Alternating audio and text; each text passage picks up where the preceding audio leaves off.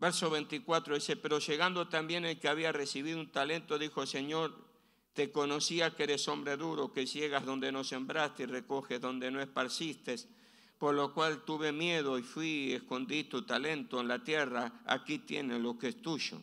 Entonces respondió su señor y dijo, siervo mano y diligente, sabías que ciego donde no sembré y que recojo donde no esparcí, por tanto debías haber dado mi dinero a los banqueros y al venir yo hubiera recibido lo que es mío con los intereses.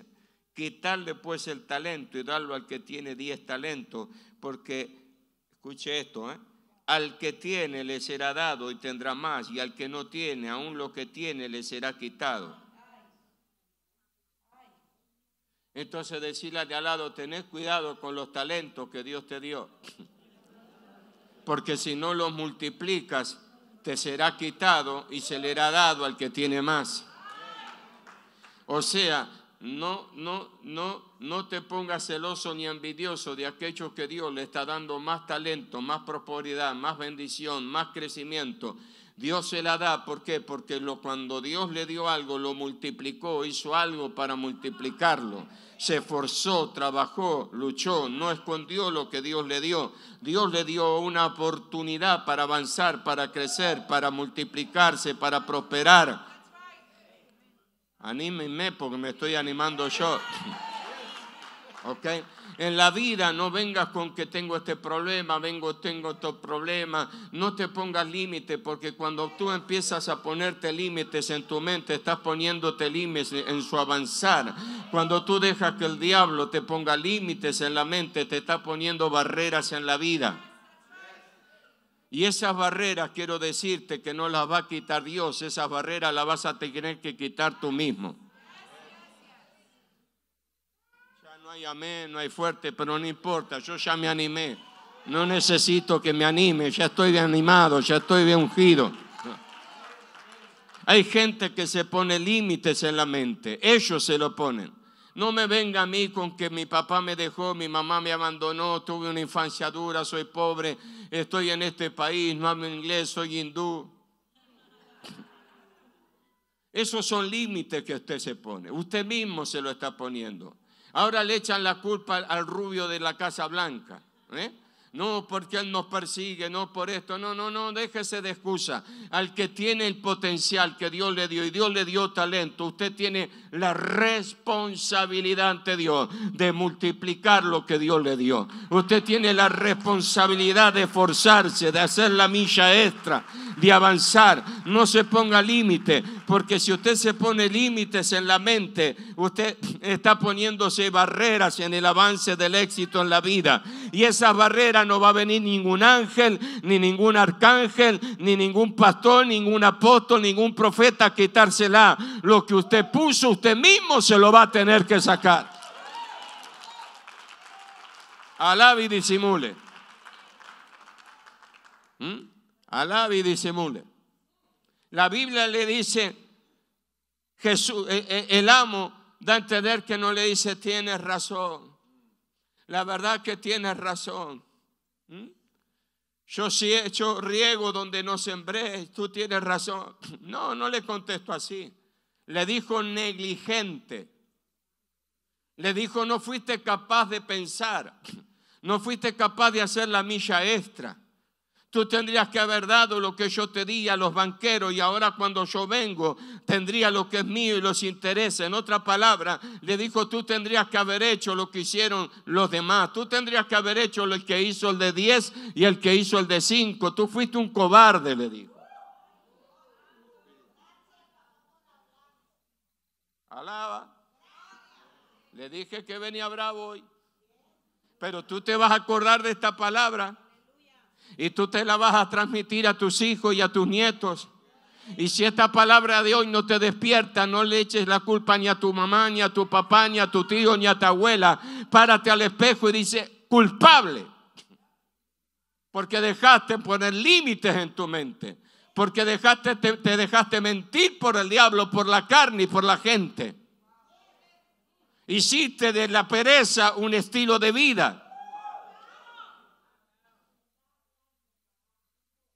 I'm sorry con excuse pero hay gente que hace de la pereza, de la vagancia, estilo de vida. Y dice la palabra que al perezoso lo persigue la pobreza y le alcanza.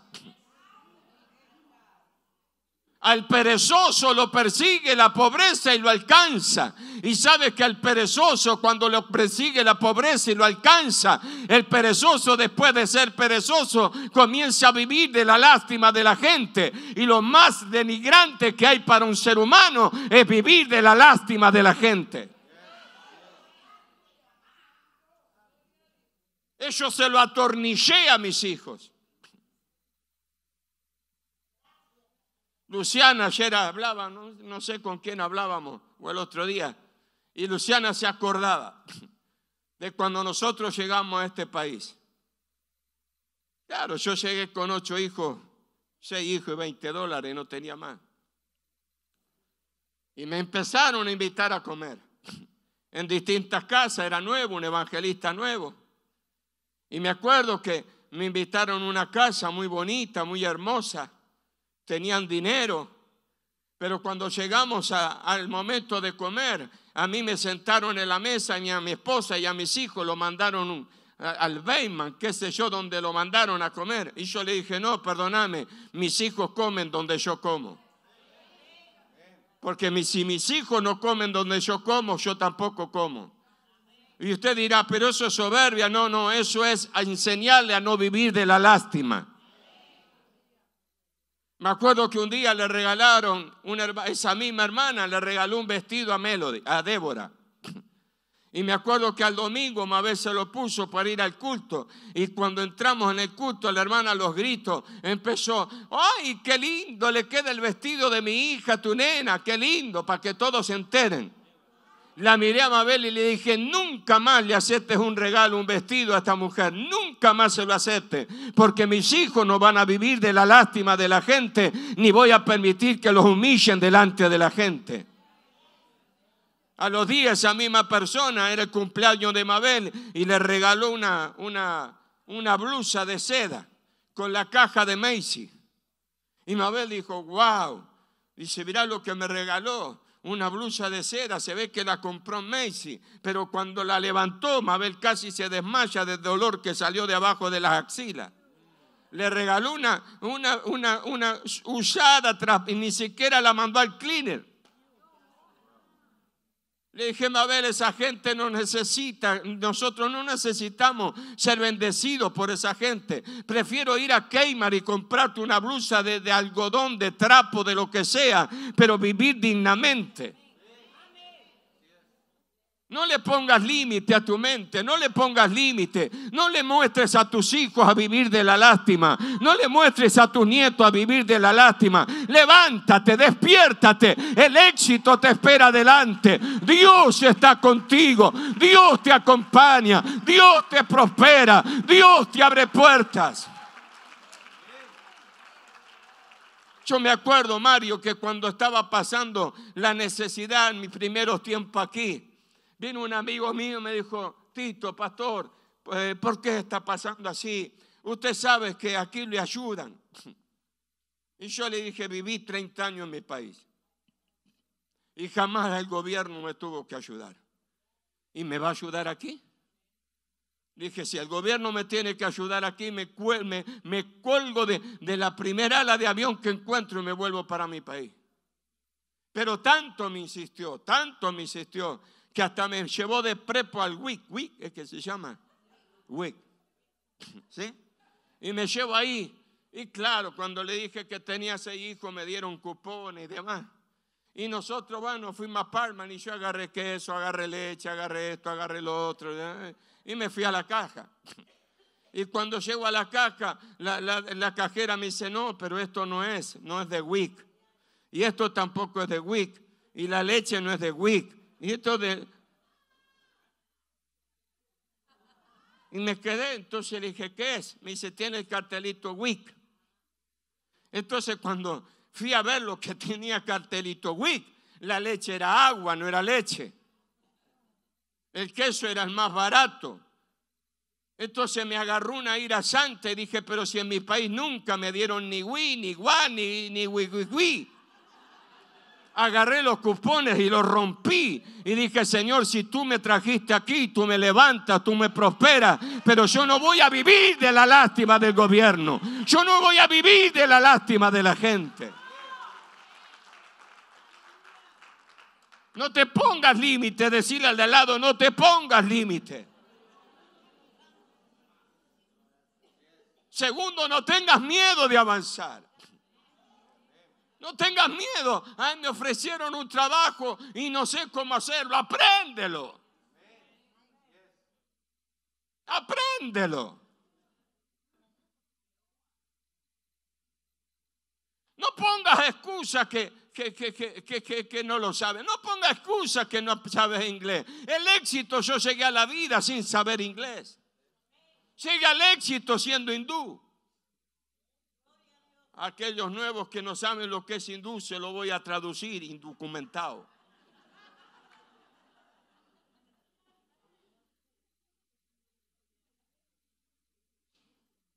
Yo tenía tres años, cuatro años en este país y ya había alcanzado el éxito. Lo que otros pastores hacía 30 años no tenían, yo en un año lo logré. ¿Por qué? Porque trabajé duro. Me bendijo encontrar un libro de Catherine Kuhlman, que su padre alemán de chiquita ella cuenta y le decía, que le decía todos los días, Catherine, quieres llegar al éxito, quieres triunfar en esta vida, trabaja duro, le decía, trabaja duro, trabaja duro. Y ese libro llegó a mis manos justo cuando yo estaba comenzando el ministerio. Y me miré al espejo y dije, de Rocco, que eres éxito, trabaja duro. Yo me acuerdo que eran las 3 de la mañana y estaba editando programas en el Bronx. Llegaba a casa a las 4 de la mañana y a las 6 y media me levantaba porque a las 7 tenía radio. Y estaba todo el día allí y después de allí me iba a hacer un culto a Queen y de Queen me volví aquí. En un año a mi minivan le hice 60 mil millas. Dormía tres horas por día. Tenía tres cultos por día. Tenía Queen, tenía Planfield, tenía Queen. Había días que salía de Queen a las dos y media de la noche, llegaba a casa a la una y media de la mañana mientras tomaba algo, me dormía a las 2 y a las 6 me tenía que levantar porque a las 7 ya tenía que estar en la radio. Tenía unas ojeras que parecían así negro. Me acuerdo que tengo una foto con Mabel. Estoy grandote, oh, pero unas ojeras por acá, pero tenía que hacerlo, no había otro que lo hiciera. Y si yo quería éxito, tenía que avanzar, tenía que correr, tenía que lograrlo. Hay tiempo para trabajar duro y hay tiempo para descansar. Hay tiempo para eh, meterle para adelante y hay tiempo de reposar. Pero no estés esperando que te empujen, que te empujen. Pone primera de una vez y avanzar. Vamos, vamos, apláudale, apláudale, apláudale al Señor.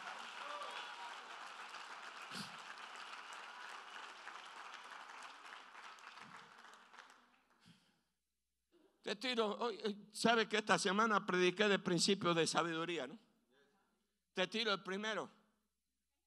No te quedes mirando al, águila, imítala.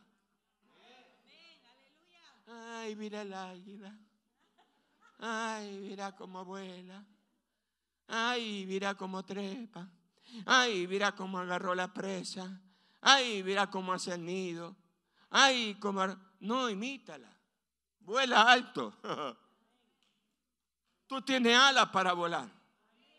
Aquí hay algo que tienes que definir. ¿Eres gallina o eres águila?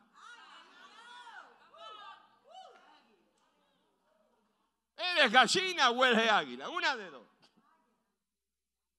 Dice una historia, una, una fábula, un cuento, que un águila puso un huevo y se fue y ahí hicieron un gallinero. Y el aguilucho nació entre las gallinas. Y se crió entre las gallinas. Y dice este cuento que el águila eh, eh, hacía... ¿Por qué? Porque había las gallinas. Y las, las gallinas comían del maíz Y la águila iba y comía del maíz. Pero dice que un día pasó un águila por arriba. Y dice que el aguilucho miró el águila ya crecida, miró para arriba y dijo, qué lindo sería volar así. Ella, ella no sabía que era igual que ella, tenía el mismo ADN, tenía el mismo potencial, tenía las mismas virtudes, pero como se crió entre gallinas.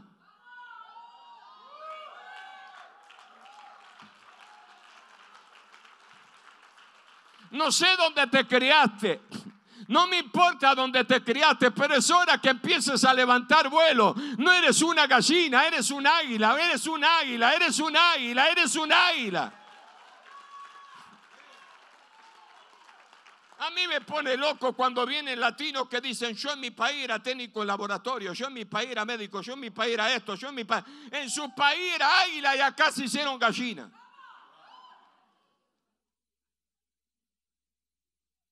Alabi y disimule. Si en tu país eras águila, acá tienes que ser diez veces águila.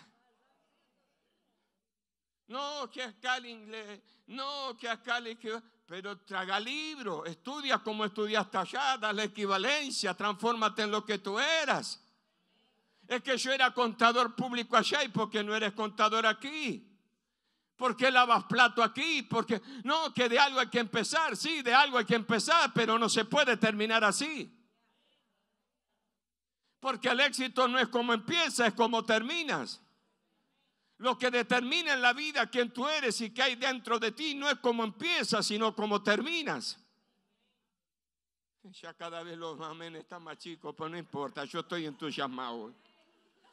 Vamos a decirle de al lado, no permitas que tu incapacidad, vamos, anótelo. No permitas que tu incapacidad o limitaciones te impidan volar alto y lograr tus metas. No lo permitas. Mire, el otro día Mabel me, dio, me mandó un video y me revolucionó ese video y yo ya tenía esta palabra y dijo, me, dije entre mí, me vino como anillo al dedo. ¿Saben ese dicho? Es argentino, vino como anillo al dedo. ¿Ah? En Colombia también somos parecidos, nosotros no seremos hermanos. A ver, ¿tenés el video multimedia? ¿Sí? Poneme el video, por favor. Preste atención, mire, mire, mire, mire, mire.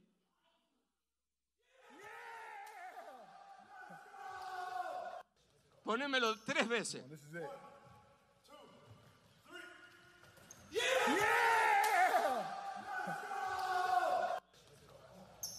Come on, this is it.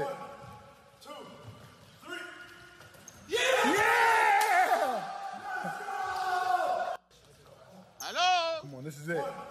No, no, para, para, para, que tengo que seguir predicando. ¿Aló? ¿Aló? ¿Aló? ¿Aló? ¿Aló? ¿Aló? Cuando tienes una meta, no hay diablo, ni infierno, ni limitaciones que te la puedan impedir. Cuando tú te pones una meta en tu mente, eres un vencedor.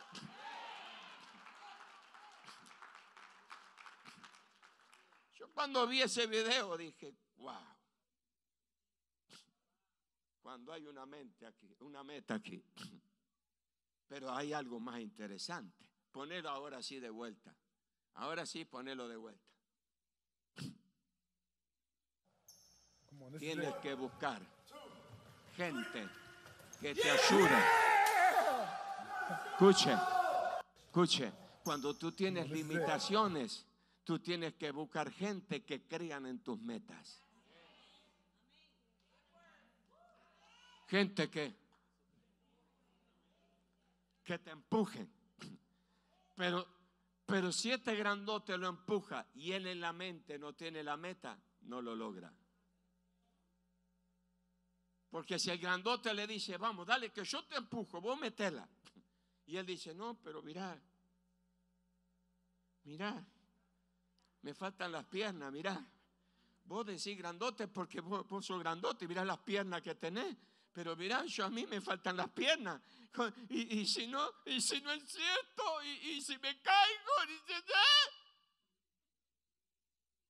Tú tienes que aprovechar en la vida cuando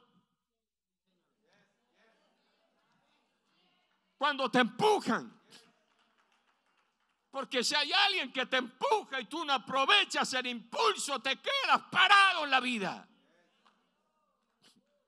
Tú estás en una tierra que te viven empujando, te viven empujando, te viven empujando, te viven motivando.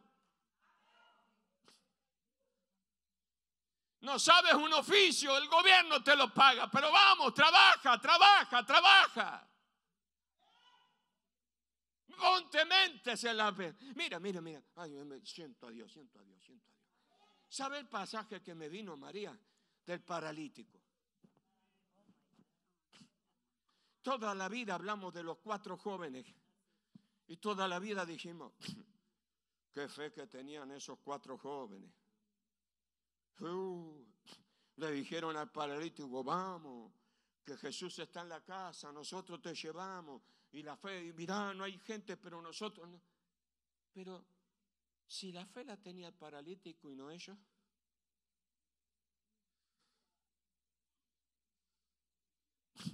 Porque hoy no lo vemos del lado del paralítico, que se enteró que Jesús estaba en la casa y mandó, déjame solo la imagen parada del, del video, y mandó a buscar a sus amigos.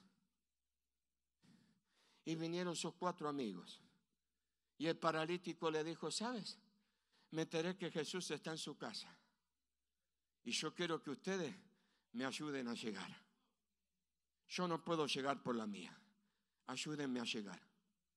Pero ¿sabe qué pasa? Que, que la gente ya se enteró, ya, ya vimos gente que iba corriendo para la casa de Jesús. Va a estar llena, no me importa, llévenme. Yo sé que si llego a Jesús, yo me, salgo de esa casa caminando. Llévenme, pero llévenme. Se miraron los cuatro y dijeron, bueno, vamos a llevarlo. Y lo cargaron, porque ahora, ahora está el sillón de ruedas, él pudo haber ido derechito ahí con la palanca, pero ahí lo cargaron y lo llevaron. Y cuando llegaron a la puerta de la casa le dijeron, viste que te dijimos, mira, está llena, no hay lugar. Hasta la puerta está llena, no, no podemos entrar. Y yo me imagino al paralítico diciendo, sí, pero hay un agujero arriba. Porque la Biblia dice que abrieron el techo, pero ¿sabe usted que no era que lo rompieron? En la arriba era como una puertita, es como lo que nosotros llamamos en Argentina una claraboya. ¿eh? O sea, era una puertita, una puerta que se abría. Y como que el paralítico le dijo, pero para, para, para, para. Yo no, no, no me puedo meter aquí. No, no, no, pero yo no tengo mi limitación ahora está en el cuerpo, pero no está en la fe. Mi limitación yo la tengo en el cuerpo, pero no la tengo acá. ¿Y sabes qué? Amigos míos, sé que allá arriba hay una puertita. Hay un lugar por donde me pueden entrar. Así que súbame por ahí. No, pues está loco vos. Te, te podés caerte encima de paralítico, te podés matar. ¿Cómo hacemos? No sé, métesela, pero yo necesito que ustedes me...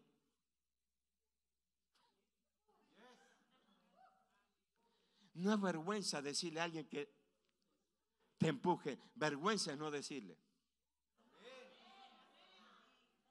No es vergüenza decirle a alguien que te dio una mano y te, te ayuda a alcanzar el éxito. Vergüenza es no decirle. Vergüenza es que si te empujan, no querer que te empujen. Entonces dice, me imagino yo, porque usted sabe que yo medio hago películas, ¿no? Y me imagino yo que el paralítico le dice, no, no, men, vamos. Levántenme, vamos. ¿Ustedes son mis amigos? Sí. ¿Me aman? Sí, bueno, vamos. Pero si te caes de estar paralítico, a mi morir, ¿qué diferencia hay? Vamos, levánteme. Vamos, vamos, vamos, para arriba, para arriba. Y los cuatro se miraron y dijeron, bueno, vamos a hacerlo, dale. Agarra, ¿y cómo hacemos? Bueno, voy a agarrarlo de acá, yo de acá. Vos subiste primero, lo aganchamos, lo atamos. Vaya a saber cómo hicieron, pum, para arriba. Y una vez que estaba arriba, ahora había que bajarlo. Entonces, entonces uno dice, ¿cómo lo bajamos? Y bajen ustedes dos, tírense ustedes, si se rompen la gamba no importa, la pierna, pero tírense, vamos, vamos. Y se bajaron dos y dijeron, dale, mándalo. Y el paralítico estaba cerca de la meta. Y por ahí uno de los amigos le dijo, sí, te fue fácil subirte, pero si bajé, te rebalé y te caes. No, ya estoy aquí, mira, ya lo estoy viendo a Jesús. Ya me estoy viendo caminando. Ya, ya, ya lo veo, ya lo veo, ya lo veo, ya lo veo. En la vida no podés quedarte cuando ya ves el éxito. Ya lo ves, ya lo ves, ya lo ves. El tramo más difícil es cuando ves el éxito, cuando ves la victoria. Ahí es el tramo más difícil, pero decirle al lado, ya lo estoy viendo, ya lo estoy viendo, ya lo estoy viendo. No hay diablo que me pueda parar, ya lo estoy viendo.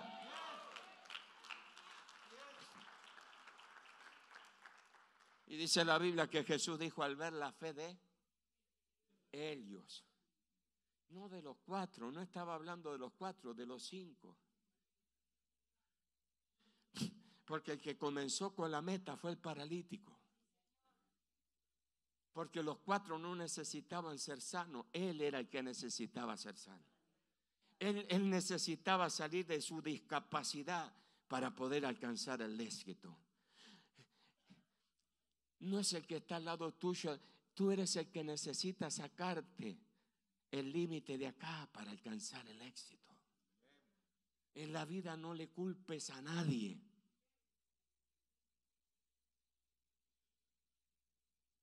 Mientras le decís al lado, el apóstol vino bravo y yo voy a tomar agua.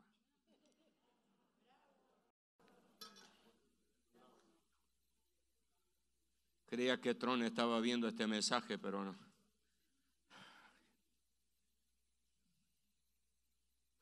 Decirle de al lado, siempre va a haber gente que está dispuesta a ayudarte a que tú lo logres. Siempre va a haber gente.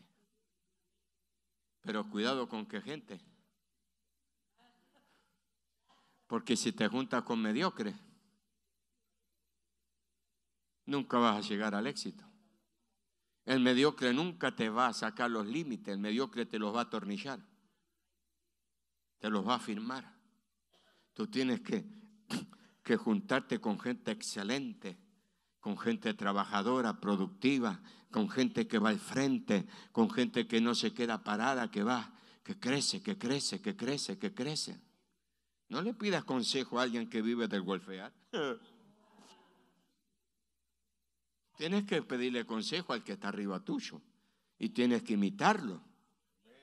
¿Ah?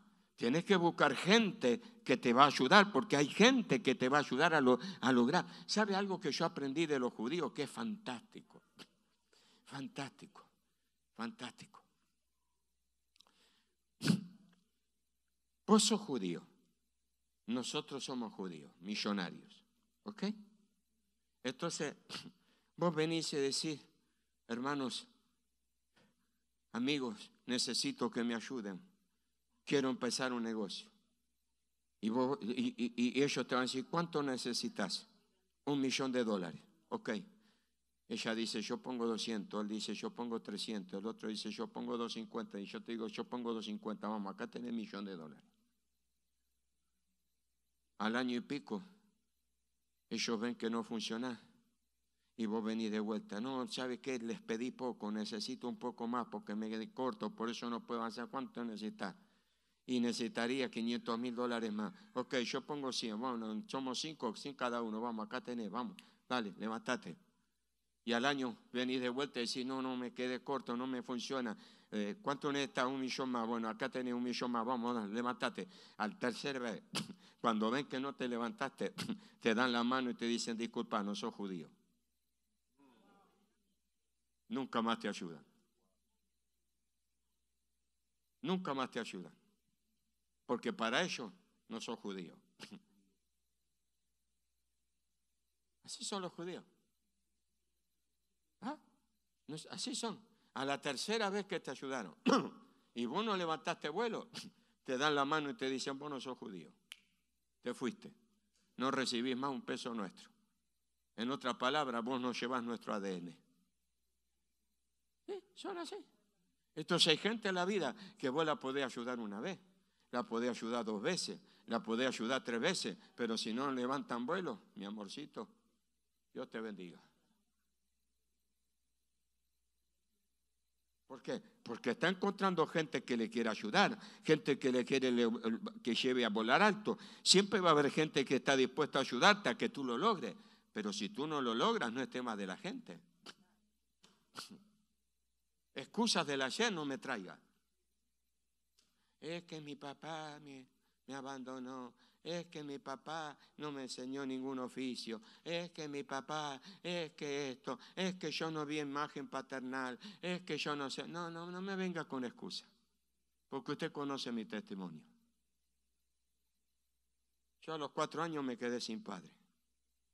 Y mi padre nunca me ayudó ni siquiera a ponerme una media. Pero cuando yo me casé, me hice un pacto a mí mismo. Mis hijos no van a vivir lo que yo viví. Mis hijos no van a pasar lo que yo pasé. Y yo no me junté con mediocre. Me junté con gente de éxito. Yo me acuerdo cuando Dios me llamó a hacer las cruzadas en el Olympia Auditorium de California. Yo recuerdo que antes de eso yo invertía dinero de mi bolsillo y me sacaba dos tickets de avión, uno para mí, uno para Mabel, y nos íbamos, qué sé yo, a Orlando, Florida, porque estaba la cruzada de Benigín. Invitaba a los líderes, ¿quién quería venir conmigo? Entonces, un matrimonio, dos, tres, decían, yo, yo, apóstol, yo, voy con usted. Pero se tienen que pagar el ticket, ¿eh? tienen que pagar el hotel y tienen que pagarse la comida. No es que la iglesia lo va a pagar, yo me lo estoy pagando de mi bolsillo. Sí, apóstol, vamos, vamos. Y nos íbamos, yo, Mabel, con tres, cuatro matrimonios. Y nos íbamos a la campaña de Benigín. Y yo no iba a que me hiciera, ¡tash! No, no, no. Yo me iba temprano a ver cómo él hacía todo. Cómo organizaban la plataforma, cómo ponían las luces, cómo ponían el audio, dónde sentaban los enfermos, todo, todo, todo. Yo me lo grababa todo la mente. Y de ahí venía y me decía, está en Filadelfia. ¿Quiénes vienen conmigo a Filadelfia? Vamos, pum. Y me iba, a la- el culto, el, el servicio era a las 7, yo a las 3 estaba ahí, mirando, observando, todo. Me lo grababa en la mente, todo. Después venía, está, qué sé yo, Niagara Falls, vamos a Niagara Falls. Me grababa. Cuando llegó el momento que yo supe que estaba preparado y que las iglesias ya me quedaban chicas en California, me fui al Olympia Auditorio. Y contraté el Olympia Auditorio. Y yo tenía a Walter, que hoy es pastor, un hijo espiritual mío, que hoy pastorean en Houston. Y lo traía a la oficina y decía, Walter, quiero esto, esto, esto, esto, esto. Se lo dibujaba. Así vamos a hacerlo, papá. Cuando hice la primer cruzada en el Olympia Auditorio, que se llenó, se llenó. Fue un impacto tremendo. Y lo hicimos con un programa de media hora todos los días en un canal, lo, Power, y con un aviso en un diario que se llamaba eh, eh, eh, El Orador, de, un- de un- de un- una persona que terminamos siendo amigos. Y- y me acuerdo que cuando yo pasé eso, esa filmación, esas cruzadas por, por eh, Canal 41 Univisión, aquí, un día me llama David Greco. A los días me llama David. Me dice, flaco, ¿quién te ayuda a hacer la campaña? Dije, nadie. Dale, no me embromes, ¿cómo nadie? Dije, nadie, David. Pero ¿y quién te hizo la plataforma, las luces, el audio, todo? Nadie. Los muchachos del ministerio. Alquilamos el audio y ellos lo hicieron. No, me estás embromando, flaco. ¿Y quién te hizo la televisión? Dije, nosotros, David. Llevamos nuestros equipos, nuestras cámaras. Todo lo hicimos nosotros. Alquilamos, lo único que alquilamos, lo que no teníamos. Una jirafa la alquilamos. Jirafa es eso. ¿no? Pero alquilamos una más grande, profesional, para estadio. Dice, no, flaco, vos, vos me estás bromeando. Digo, David, ¿cómo te voy a estar mintiendo? Es verdad, le dije. Lo hicimos nosotros. Y él me dijo, flaco, te felicito, porque de- encima yo me ponía un traje blanco como Benijín, cremita, ¿viste? Claro, pues yo doblé el manto en todo. Sí, lo único que no me podía hacer el peinado de aquel entonces, pues no, ya, ¿viste? ¿No? Y, me acuerdo que David me dijo, flaco, te felicito, porque de primera im- impresión yo creía que era un programa de Benijín en español, porque las primeras imágenes eran de lejos, y yo creía que era un programa de Benijín en español. Le dije, no, David, lo que pasa es que yo me tomé tiempo de ir a aprender de los que saben. Invertí, invertí, invertí, invertí en aprender. A la segunda cruzada, hacemos otra cruzada. A la tercera cruzada recibimos una llamada de un pastor americano, afroamericano, que se llamaba, le decían eh, terremoto, el sobrenombre que tenía él, porque era un terremoto cuando él predicaba. Y recibo la llamada de un pastor llamado eh, Matthews, de apellido, un ministerio famosísimo hoy en, en California, joven, de un asistente de él en español, que querían venir a nuestra cruzada. Y esa fue la cruzada del milenio. ¿Se acuerda del 2000, del, de que todo se terminaba? ¿Se acuerda? ¿Eh? Bueno, en diciembre del 99 hicimos esa cruzada.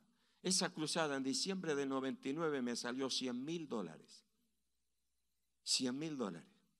Yo me acuerdo que, que cuando Dios me habló en la oficina de hacerla, le dije, Señor, pero ¿con qué voy a hacerla? Yo no tengo la plata. Tú hazla, me dijo. Cuando mandé a pedir el presupuesto Walter me trajo el presupuesto, 100 mil dólares, dije, Señor, no creo que ni el diezmo tenemos en la, en la cuenta del banco. Ni el diezmo lo tenemos. Me dijo, camina en fe. Y empezamos a caminar en fe, a caminar en fe, a caminar en fe, a caminar en fe. Empezamos, Dios comenzó a bendecirnos, a bendecirnos. Contratamos un plato de satélite, un camión con un plato de satélite impresionante y la transmitimos por, por enlace, por Fe Agrada a Dios y por eh, la cadena de Chiche, por las tres cadenas que había. En vivo, en directo. Nos metimos en Cuba como un, terreno, como, como un misil. Hasta el presidente de la Asamblea de Cuba me llamó. Me acuerdo que faltaba una semana para la campaña y en este altar, en este altar, que era chiquitito acá, por la mitad, a mí un doctor en Houston, en una cruzada en Houston, Texas, en el Convention Center de Houston, Texas, me había sembrado una pulsera de diamantes. Y yo me acuerdo que me paré en este altar y le dije, me faltan 3.500 dólares para completar los gastos de la cruzada. El que redima esta pulsera se la lleva. 3.500 necesito. Esto vale mucho más de 3.500 por el que... Y se levantó David Chaplay, nunca me voy a olvidar, un joven maravilloso, precioso, constructor, que nos ayudó, pero ese, yo lo amo ese joven. Y me acuerdo que él vino, se levantó y me dio el cheque y tomó la pulsera. Yo pagué toda la cruzada. Llegué a la cruzada, Luis, sin deber un centavo. Se llenó, transmitimos. Y en eso aparece Terremoto y aparece Matius. Y cuando le pregunto a Terremoto por qué le había llamado la atención de venir, dice, porque un día estaba moviendo el televisor. Dice, y apareció su programa y yo creía que era un programa de Benny en español.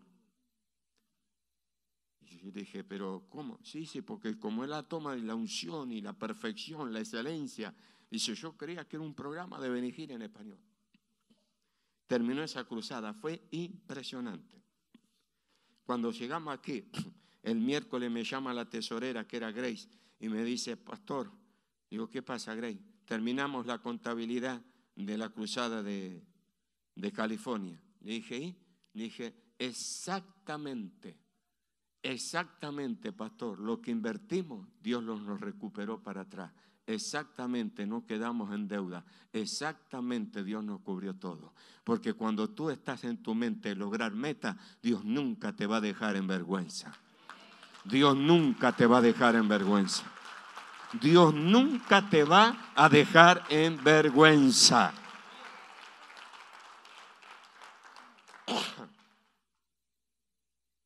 El último principio y terminamos.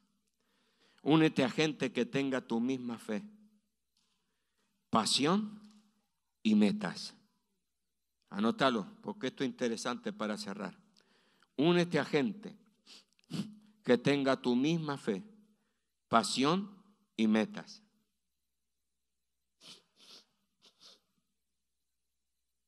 Y formarás parte de un equipo que vivirá en victoria. Únete a gente que tenga tu misma fe, pasión y metas y formarás parte de un equipo que vivirá en victoria. Porque esto se trata de trabajar en equipo. ¿Mm? ¿Están aquí o se fueron? Esto se trata de trabajar en equipo. Tú no, es lo que te dije recién, tú no te puedes unir con mediocres. Tú no te puedes unir con incrédulos. Tú no te puedes unir con vagos, con cobardes. Tú no puedes unirte porque esa gente no te va a empujar nunca. Nunca. Tú tienes que buscar gente que tenga tu misma pasión, tu misma fe, tu misma pasión y tus mismas metas. Tú tienes que elegir la gente con quien caminas. ¿Aló? ¿Aló? Imagínese yo que tengo un proyecto. Imagínese. Dios me da una, un proyecto, me da, qué sé yo, una visión. Vamos a hacer un ejemplo. Dios me da la visión de, de, hacer una cruzada en el Prudential Center de aquí de Newark. Vamos a hacer un ejemplo. Amén. Amén.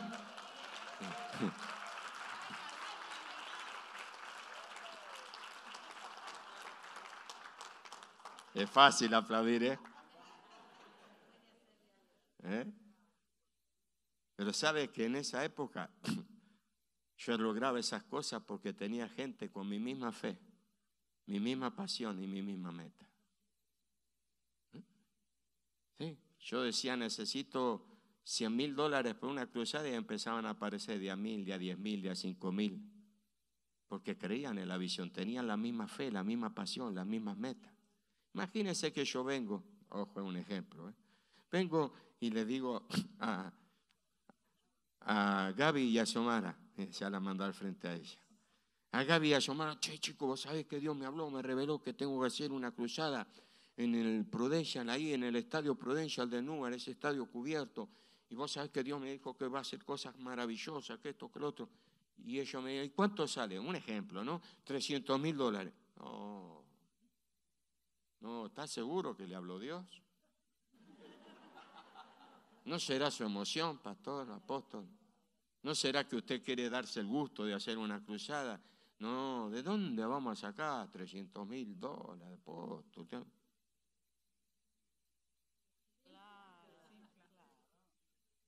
Me abortaron la visión. Si yo le creo. Pero si yo le transmito la visión y la visión rebota en ellos, voy a buscar donde no rebote. Pero mi visión nadie me la va a parar. Porque yo sé que voy a encontrar alguien donde mi visión no rebote si no se embarace. Así es la vida. Tú no puedes buscar gente que no tenga tu misma fe, tu misma pasión. Tú tienes que buscar gente que te animen. No te estoy diciendo que tú busques gente para ponerte de socio, no, porque las medias son para los pies.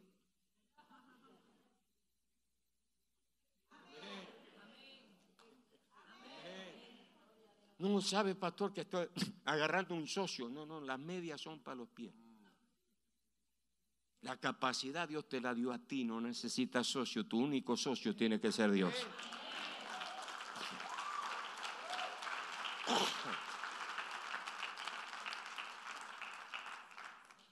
Yo me acuerdo de Marito Maña, salvadoreño.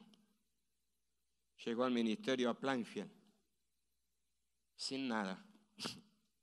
Chirroquero, trabajaba para un contratista. Y un día prediqué un mensaje parecido a este, de otro enfoque. Y hablé del, del elefante. ¿Eres elefante de circo o elefante de selva? Un día de esto se lo voy a predicar. Hay una diferencia entre el elefante de circo y el elefante de selva. Y prediqué esa palabra. Y todo lo puedes en Cristo que te fortalece y demás. Entonces les animé a poner su empresa, sus negocios, a salir del estanque, de, lo estancado, del miedo a progresar, del miedo a avanzar, de, que todo lo podíamos y bueno, y prediqué. Ya los días mi hermana Tuli, me acuerdo que, no me acuerdo si era cumpleaños de alguien o ella hizo una cena, no me acuerdo. Ella vivía aquí en Gilsay. Y, y fuimos ahí a la casa de él y me encuentro con Mario. Y Mario me dice, apóstol, eh, pastor, entonces me habían apartado de apóstol, pero yo todavía no, no ejercía el apostolado. Me decían, pastor, me dice, pastor, ya escuché el mensaje el otro día, el domingo, y no me dejó dormir todos estos días. Dije, ¿por qué Mario? Dice, porque yo sé mi trabajo, yo tengo que avanzar, yo no puedo trabajar para otro. Entonces, dice, me fui y hablé con un amigo y nos vamos a poner en sociedad los dos. Vamos a hacer una empresa los dos. Y lo mismo que le dije a usted, se lo dije a él. Le dije, Mario, las medias son para los pies. Y se me quedó mirando. Dije, sí, en Dios no hay cosas medias, no busques socios. Tu único socio tiene que ser Dios. Dije, tú lo puedes lograr todo, tienes la capacidad física, mental, inteligente, lógralo tú solo. ¿Por qué tienes que buscar un socio? Yo, tú puedes hacerlo solo. El día de mañana tu socio le agarró el revire, se quiere ir, te partió y, y medio avanzar, te atrasar. Dije, empezar. Y le hablé de Job capítulo 8, verso 7, aunque tu principio haya sido pequeño, tu postrer estado será muy grande. Empezar de a poco. Pasó de esto dos meses, tres meses más o menos. Y un día estábamos en el parque Johnson, allá por New Brunswick, ¿sabes ese parque que está por allá atrás? Estábamos haciendo un picnic, un, un día de esparcimiento como lo hacemos aquí. Y de repente, tipo 3, 4 de la tarde se larga a llover, pero a llover. Entonces todos corremos hacia los carros, ¿no? Y cuando yo estoy abriendo la puerta de la minivan, él viene corriendo y me dice, pastor, pastor, no se vaya. Espera, espera un minuto. Entonces metí los chicos adentro y digo, sí, Marito, bajo la lluvia. Digo, ¿qué pasa? Si se acuerda el día este, esto, esto, que usted me dijo que las medias eran para los pies, le dije, sí, se armé mi empresa. Digo, no me diga, le digo, te felicito, Mario, vamos para adelante. Dice, no, no, espere. Si yo tenía una tarjeta American y me fui a Home y me compré 3 mil dólares en herramientas que necesitaba para empezar. Y me hice unas tarjetitas y empecé a repartirlas. Y dice, pero aquí traigo mis primicias. Traigo los primeros 500 dólares que me gané. Si se lo traigo a usted, apóstol, como la Biblia dice, las primicias al sacerdote. Y me puso las primicias en la mano. Y bajo la lluvia lloré. Padre, yo bendigo esta empresa, declaro bendición, pa, pa, pa, pa. Me fui. En ese año, en un año, escucha esto, en un año se compró una casa en, North, en, eh, North Plainfield poniendo 30 mil dólares de down payment. Ese mismo año se compró una van para su trabajo, 25 mil dólares cash. Y le mandó 10 mil dólares a su padre cash en, por envío, porque su padre en El Salvador lo necesitaba. Hasta el día de hoy, él tiene su empresa, su negocio, compró propiedades, compró casas, prosperó. ¿Por qué? Porque creyó a una palabra que el profeta le dio. Por eso la Biblia dice, escuche esto, escuche, por eso la Biblia dice, creed en Dios y estaréis seguros. Creed en vuestros profetas y seréis prosperados. A mí me da risa cuando hay gente que le, cree más al contador que al profeta de Dios. Tengo todo esto y termino. Yo tenía un, aquí había un cubano, Laino, chico precioso, era un gigante. Yo soy alto, ese era más alto que yo, tiene una espalda así, tiene unas manos. Un día en Benijín me tocó la unción, yo no podía caminar, no me podía levantar del piso. En Filadelfia, y vino la seguridad y dijo, hagan algo porque tienen que irse. ¿Sabe qué hizo el loco ese? Me levantó así, como si fuera un bebé. Me levantó así, me sacó para afuera. No, no, era un ropero. Me acuerdo que un día viene y dice, pastor, quiero hablar contigo. Yo, ¿qué te pasa? Me voy en bancarrota. Le dije, bancarrota el diablo. Dice, pero apóstol, pastor, dice, debo tres, casi 300 mil dólares. 200 mil dólares quiero. Dice, no me, no me queda otra. Me voy en bancarrota. Y lo volví a mirar a los ojos y le dije, bancarrota el diablo. Si vos te congregás en esta congregación, bancarrota el diablo, le dije. El único que está en bancarrota fue el diablo que perdió todo. Me dice, ¿cómo hago? Le dije, sembra. Y me miró como diciendo, pero te estoy diciendo que estoy en bancarrota. Y yo te dije, ¿sabes cómo vas a salir de la bancarrota? Sembrando. Y me dio la mano. Dijo, lo creo, pastor. voy a empezar a sembrar. No me voy a ir en bancarrota. Y oramos por él y nos pusimos de acuerdo. A los días viene Grace y me dice, Lai nos puso un cheque de 500. Dije, ¿entró? Sí, amén. A los días viene y me dice, entró un cheque de Lainon de 700, pero volvió para atrás, no tiene fondo. No le digas nada, déjalo, está probando su fe. A los días venía y me dice, entró el cheque de 700, está bien. Venía otro día y me decía, entró un cheque de 1000. ¿Entró? Sí, ok. A los días venía y decía, entró uno de 700. Y al otro día venía y decía, rebotó, no tiene fondo. No le digas nada, deja. Y así empezó. A los tres meses viene y me dice, apóstol, ya de 200 mil dólares bajé la deuda a 150 mil.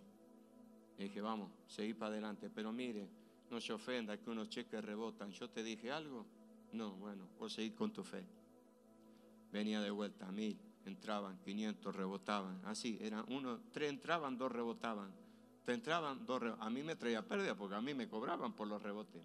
Pero yo no decía nada. A los otros tres meses venía y me decía, apóstol, pastor, ¿qué? Ya debo 130. seguía, tres meses. Ah, pastor, ¿cuánto, ¿qué pasa? Ya debo 70. Mm, hasta que llegó a liquidar su deuda. Entonces lo miré y le dije, ¿te diste cuenta que el contador te dijo que hicieras bancarrota porque se metía 4.500 dólares en el bolsillo y vos te arruinabas el crédito? Y vos le empezaste a dar a Dios y Dios te sacó de la bancarrota no arruinaste tu crédito y ahora estás bendecido. Por eso hay que creerle al profeta, porque el profeta viene a darte dirección, lo que Dios tiene para ti.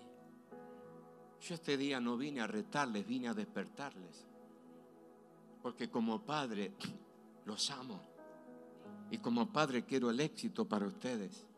Yo no quiero que mi iglesia uno, dos, tres, cuatro, cinco tenga el éxito. Yo quiero una iglesia que toda la iglesia tenga éxito. Toda la iglesia tenga éxito. Toda la iglesia tenga éxito.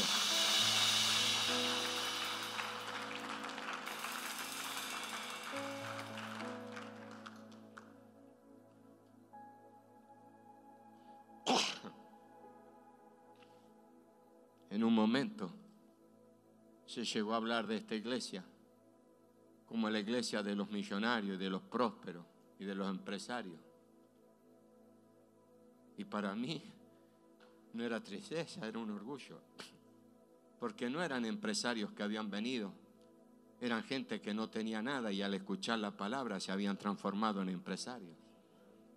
Te puedo nombrar a muchos que hoy no están, no me importa, llevan mi ADN adentro. Donde quiera que estén, quieran o no quieran, van a tener que hablar de mí porque les sembré esa semilla, esa palabra. Dios me usó para cambiarles la mente. Dios me usó para cambiarle el destino de su vida. Si después me acompañan, es tema de ellos con Dios. Yo hoy te siembro esta semilla para que cambie la mente.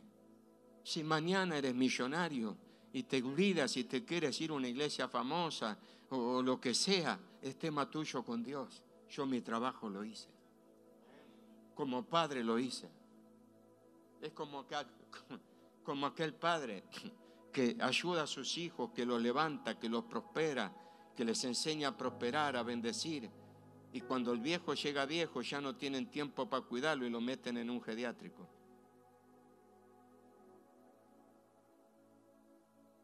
El tema no es del viejo, el tema es de los hijos. Él hizo su trabajo si ellos reconocen el trabajo que hizo el viejo, van a seguir siendo prosperados, bendecidos y van a crecer.